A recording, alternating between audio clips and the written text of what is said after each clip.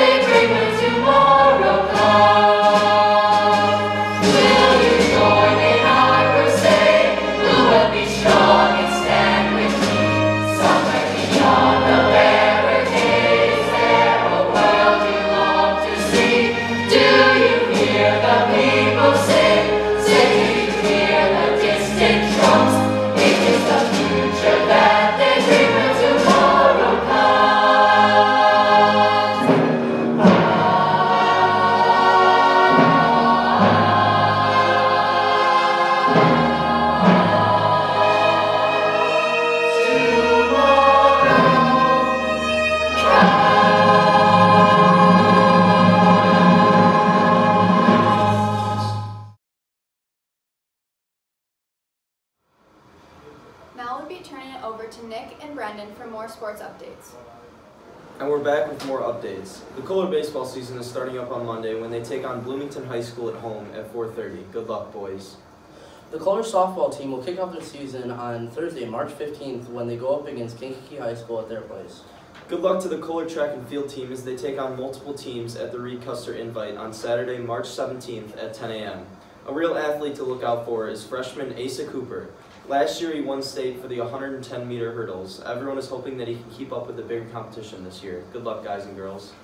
This concludes this week's edition of Coaler Sports. Thanks for watching and stay tuned for next week. And remember, if you ain't hungry, stay out the kitchen. On March 13th, it is the high school spring sports picture day. Everyone be prepared. March 14th is the 5th grade band concert at 7 p.m. On March 15th, it is the first grade band concert at 6.30 p.m. in the Coal City Performing Arts Center.